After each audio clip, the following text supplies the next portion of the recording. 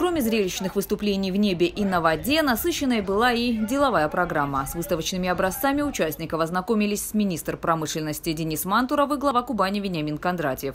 Делегации презентовали последние разработки в авиастроении и робототехнике. Среди них система управления транспортными потоками «Умный город». С помощью нее в крупных городах можно избежать пробок. Камеры фиксируют трафик, компьютер анализирует данные и корректирует время работы светофоров. Такую систему уже внедрили в горячем ключе случае Вениамин Кондратьев поручил рассмотреть возможность установки оборудования в краевой столице, где транспортный вопрос стоит особенно остро. Делаем динамическую модель движения города, мы анализируем движение потоки сейчас, проектируем, как перепроектировать, где-то односторонне, где-то двусторонне.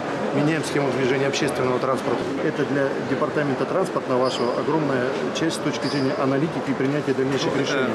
Око контроля в целом за жизненным циклом города. А сегодня мы его даем на откуп различным ведомствам и структурам, э, которые подчас между собой не синхронизируются. А вот это око позволит в том числе и их между собой все перевязать, синхронизировать и достичь результата.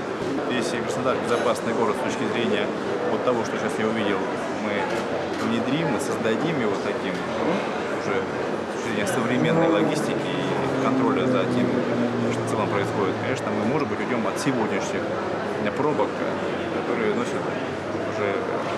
угрожающий характер. Денису Мантурову и Вениамину Кондратьеву также показали разработки юных ученых. Это и модели беспилотников, очки виртуальной реальности и самодельные судна.